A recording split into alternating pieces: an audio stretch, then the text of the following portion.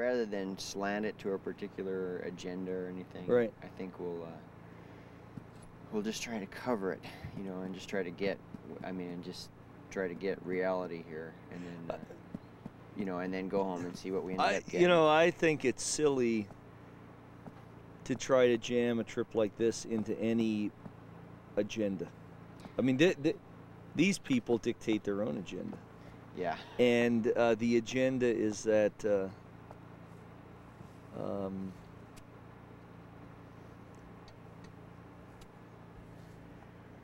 these people remind these people remind us that this canyon and its experiences transcends all of the bureaucratic hoopla that we have put ourselves through in the last 10 years. And uh, you I mean you know that as well. I mean I, I think that's been the that's been the most one of the things that I've gotten out of this trip already is to be reminded that there is something much more to the experience of the river and Grand Canyon than how the dam is operated, what governmental agency controls the dam management, what governmental agency controls scientific research down here, um, uh, who's involved, who's not. Uh, to get people back down here from the 30s, 40s, 50s, and 60s when they were just down here having a good time and truly having adventures um, is we, we need to have more of these people down here reminding us what's really important. That's for sure. and what is really important?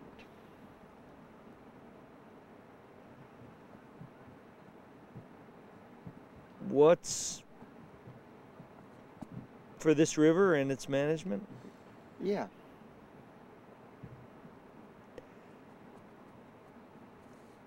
Well, I mean, just to kind of expand on what I what I said earlier, I I, think that um, we've taken ourselves on a long journey for the last um, 15 years on river management. Um, that journey started 15 years ago with the proposals by the Bureau of Reclamation to uprate and rewind the turbines and move this system to 40,000 CFS high discharges and much lower discharges. And um, the journey since then has taken us on this roller coaster of activism by the environmental community, activism by the outfitters, a negotiated settlement to substitute science for in, substitute scientific studies as a sort of buy off instead of agreeing to make some fundamental management changes 10 years ago. 10 years ago or 12 years ago, um, what went on here is what goes on in so many places in the world. Instead of making a tough decision right then, you say, well, let's pay to have some studies done and we'll see what those studies say and then we'll make the decision 10 years from now and certainly we'll make better decisions in the future than we would have 10 years ago but it also allowed people to delay making tough decisions for 10 years um, 10 years ago when i started working in grand canyon i encountered tremendous cynicism on the part of the river guides community um, I would say most of it justified, but the bottom line is substantial cynicism 10 years ago that any of this research in Grand Canyon would mean or amount to anything. Um, that this was this was in fact nothing more than a grand way to dump a whole bunch of money to buy off some scientists and that the bureau would just go on and do what it always had done and the river guides community down here felt very powerless to change it. I rare I probably never encountered a guide who said to me in 1984, "We're going to change things. We're going to make the Bureau of Reclamation change how they operate the dam." Instead, what guide said to me was, "The Bureau always does whatever it wants to." And heaven knows what your research is going to show because the Bureau will always do whatever it wants to. Um, I think in the last 10 years, we've been on this ever ascending um, um, scale of escalating scientific research, escalating money spent, escalating number of trips launched, um, escalating number of raw pe- just raw numbers of people who work down here. Um, somewhere in the midst of that, um, as the scientific work was just ascending, the river community and the river guides and the general environmental public finally began to see that there was a hope of things changing. And um, in some sense, divorced from the uh, almost divorced from the scientific effort, the public participation program began to bear fruit and culminated in the Grand Canyon Protection Act. And I think what we have here in 1994 is sometimes what I would say is two different tracks a tract of uh, continuing scientific research, and there are great differences of opinion about the appropriateness and the about the scale of the effort of scientific research, and then um, much more citizen concern now. Every guide, or I think many guides and many people who come down here now really believe that their opinions do matter. And so I think that the first thing to observe when you say, well, what matters down here is that what matters down here is are the opinions of the people who find this a special place. Um, I, I try as hard as I can in my own work to divorce to to to try to separate or try to keep clear that part of me which is a scientist, data collector, conceiver of research ideas, implementer of those research ideas, and then interpreter of those data to um, pr- produce new insights into how the river system works but I would be naive to think to for me I would uh, I that's not all that I am and that's not all of the opinions that I hold down here. I've got another set which is what are the values that I have because and what are the values that I hold about this river corridor. And um, I have to work as hard as I can to separate those because I can't let those values uh, get in the way of interpreting the data. There are many times that I've had to say over time that I'm that I was wrong. Opinions that I expressed in the past were wrong. Um, but there are values that I have, and I I dare say that it's very hard for any scientist to spend a lot of time in Grand Canyon without developing a fundamental love for this place. And um, and so I have my own values of what I think are important. Um, but I think that the most important one is the most general, and that's that no governmental agency and no set of scientists ought to be the ones who establish what the values for this place are. Our job as scientists and agency people is to lay the decisions out before the public, including the river, guide, river guides and the um, river passengers and visitors. And then it's all of us together as citizens of the United States who have to make the important value value decisions for this for this corridor. Um,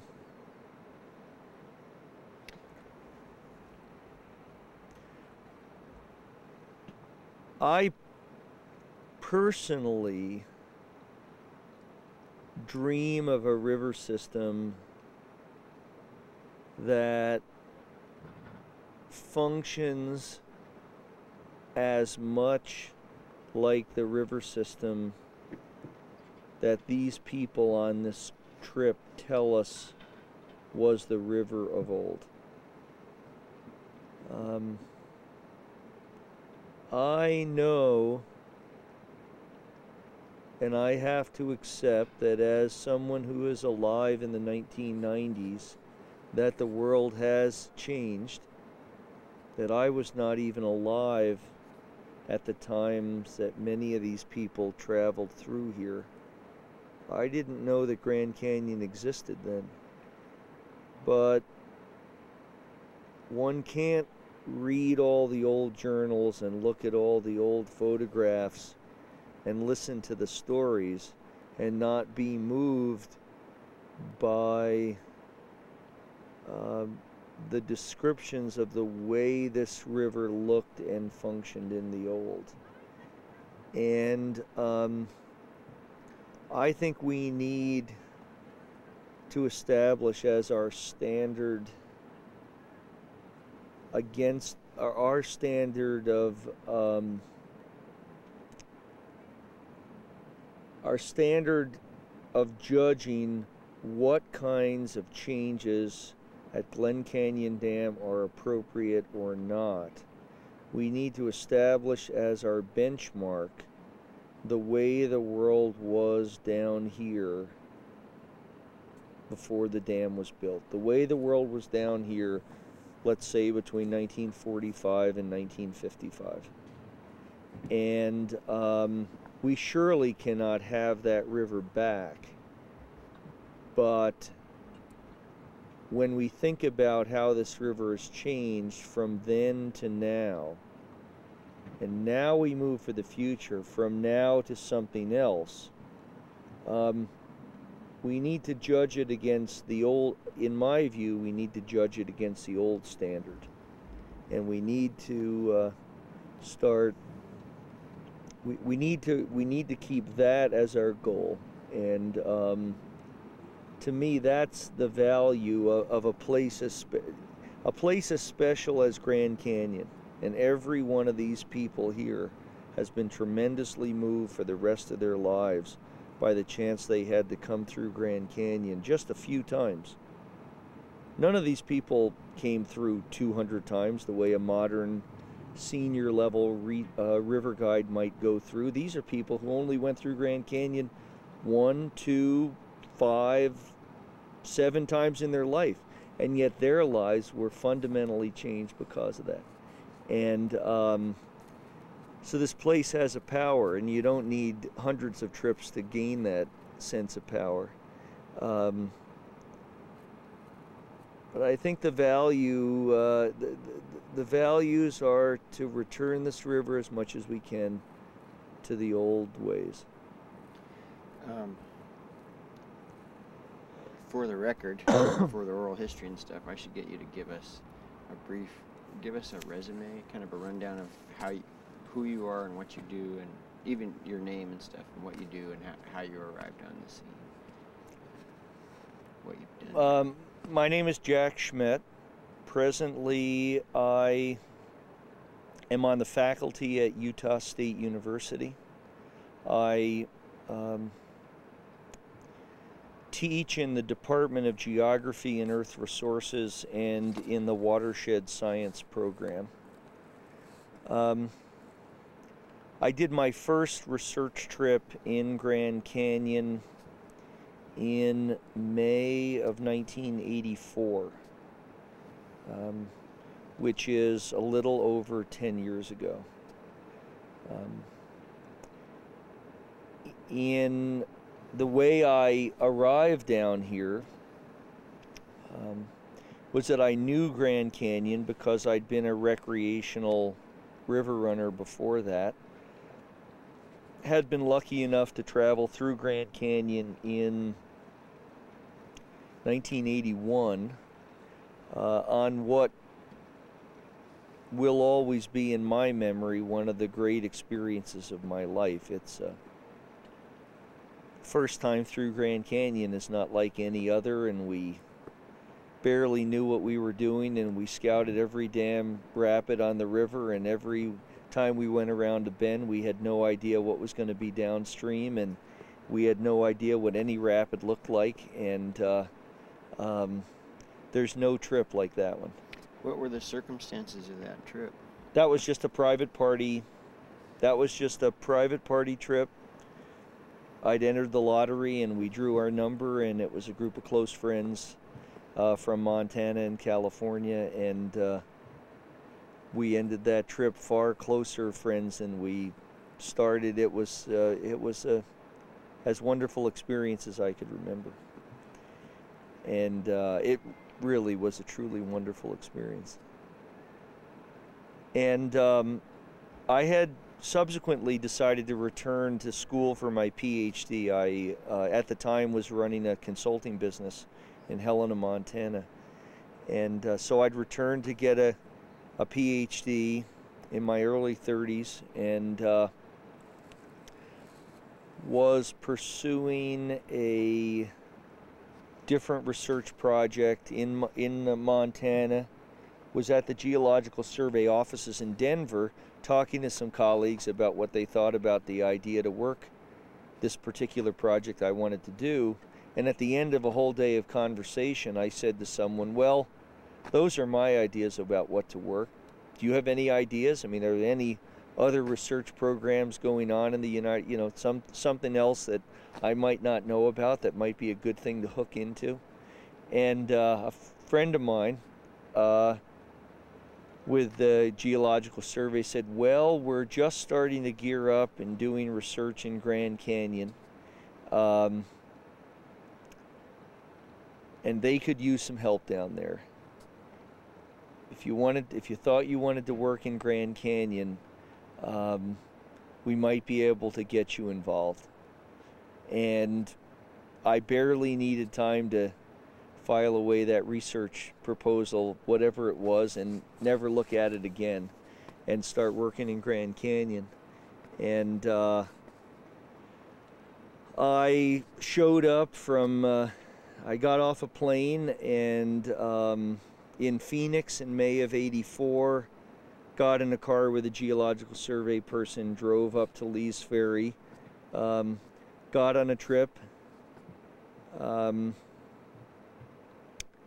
that was a trip that launched in May. It was one of the first trips outfitted by Humphrey Summit.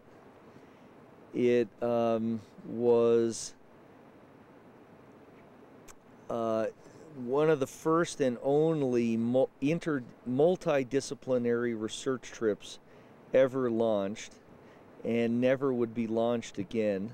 It was a trip that involved several people from Arizona Game and Fish, Brian Brown and the bird survey team, uh, and then Julie Graf from the USGS&I. We had a motor rig, um, Dan Dierker rowing a, a oar boat, and we were all spread out, but we all had to move at kind of a pace established by whoever knew. No, that's not a problem.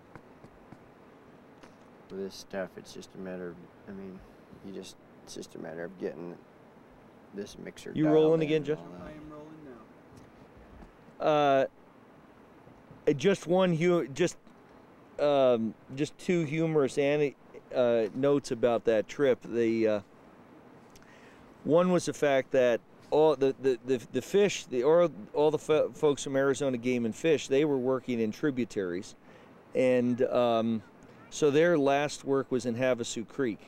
So they were completely finished working at Havasu Creek, but the bird work needed to go on downstream.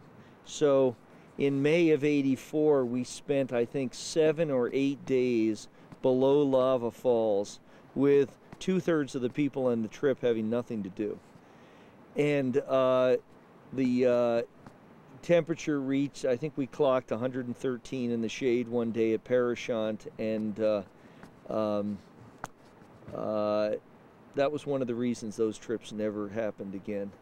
I also remember sitting below Lava Falls for a day in the hot sun with all the loaves of bread, and um, Tom Moody organized us all to uh, go through every loaf of bread slice by slice and punch out the green mold out of all the bread because all the bread had turned moldy. We didn't have any bread that wasn't moldy, and rather than throw it all away, we sat and took it out slice by slice and punched out all the mold. So that was a pretty classy outfitting experience. That was something for everybody to do while they yes, well. right. Meanwhile, Brian was off looking at birds. Um, anyway, that was a trip, and um, to show you how, how things have evolved over time, you might remember in 1984 that the original reason for environmental research in Grand Canyon was to study the incremental environmental impact of changing the peaking power operations from a high of 31,500 cubic feet per second to a high of 33,500 cubic feet per second. That that was what the original mission of the Glen Canyon Environmental Studies was just to study that small change. Um, and so we launched on this river trip. Of course, we launched on this river trip, and the river was flowing at 45,000 cubic feet per second in May of 1984 because we were in a bypass spill situation, and a year earlier the river had been up above 90,000 cubic feet per second. And I remember standing on the bank. I, I was down here looking for a research project. I didn't know what to work on.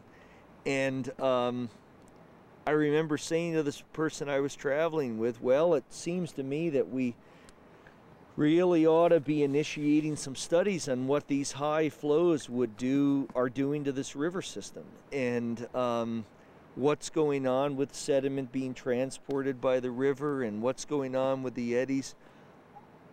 Because here we have a river that's unusually flooding. And this person I was traveling with just dressed me down and told me that under absolutely no circumstances was I to spend any time working on research related to the river at these discharges um, that in fact um, the only job of the geological survey was to study the effect of an incremental change in power plant operations and that we I was not to do anything other than that. And that that really shows you the evolution of where we came from and where we are now, just in terms of the of the of the GCES related studies. Um, the next trip I did was in the summer of '84, and I had no funding support, and so I just launched my own trip. Um, my in-laws gave me a little money to to stay alive, and uh, we uh, borrowed a boat from uh, uh, Brian Dierker and Tom Moody, and, and I rowed a, uh, one boat down, and then we had an old snout that we borrowed from a friend that was completely overloaded, and uh, we barely, we didn't have, we hadn't bought enough food, so we we we did a 21 day trip without any leftovers. We scraped the pots every night. We all lost weight during the trip. Um, and it was all high adventure because we were all kind of barely skilled enough to get through. We we got through, but the river is a forgiving uh, force, and um, I still basically hadn't the slightest idea what I was doing down here. I was still trying to figure out what the questions were, and then if you don't know what the question is, you can't figure out how to answer it. But I thought I'd be working on sandbars, and um, uh, went did another trip later that year um, with Tim Whitney on a on a bed riverbed sampling trip, and then went back to Johns Hopkins, wrote a research proposal. It was funded through GCES, and I moved to Tucson in March of 1985, and um, uh, launched my own research trip in Mar- in May of '85. And again, um, at that time, what I was going to study was how the sandbars had changed and what caused them to change and why the pattern of change seemed to be erratic because there had been a publication uh, out in that same year which basically contended that the net result of the high floods had been that some went up, some bars eroded and some bars degraded and that uh, the the pattern was kind of haphazard and and I was skeptical that the pattern was haphazard and that all you could do was throw your hands in the air and say some sandbars go up and sand, some sandbars go down. Um, so I was going to go out to all the profile lines, the topographic surveys that had been established by Alan Howard and Bob Dolan in the 1970s and that Stan Beus at the time was repeating and I was going to do detailed geological and river pattern, river flow studies at those sites to see what was the same and different about each one of those sites. So I went up to Lee's Ferry. I was training some people how to survey. We were going to do excavations, and 24 hours before I launched, somebody came up to me in the Marble Canyon Cafe and said, "Oh, by the way, the river discharge tomorrow is going to be increased from 25,000 CFS to 48,000 CFS. And um, so I launched on my first trip that I was going to do on my own with essentially no notice that every study site I was going to work on was about to go underwater. And everything that I was going to do on that trip was right out the window. So I had to instantly sort of think through now what do I do? What's what's the plan? which included just packing the pickups up and driving away and saying, well, guess there's nothing to do in Grand Canyon. But that certainly isn't very much fun, and it uh, uh, clearly you can't put your tail between your legs and give up. But I had to kind of think through it. I didn't have all the gear that I needed to.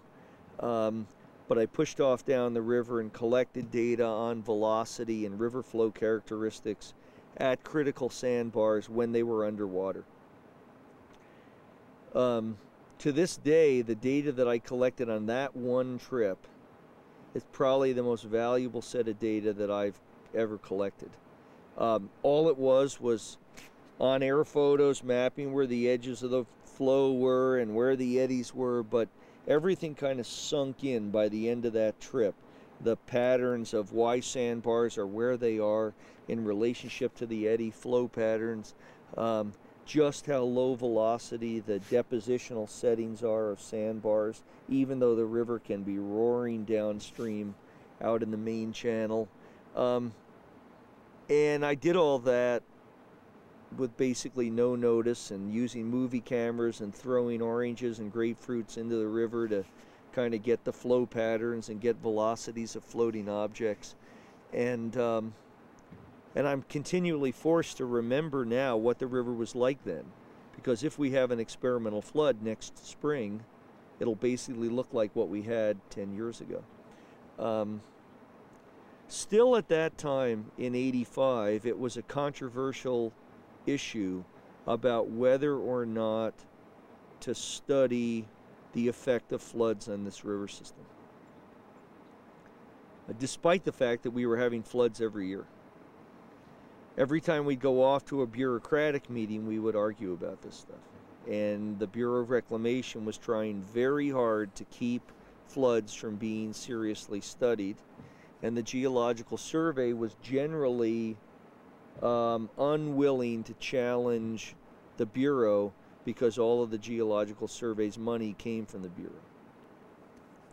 And so the basic idea was don't do anything to piss off the client.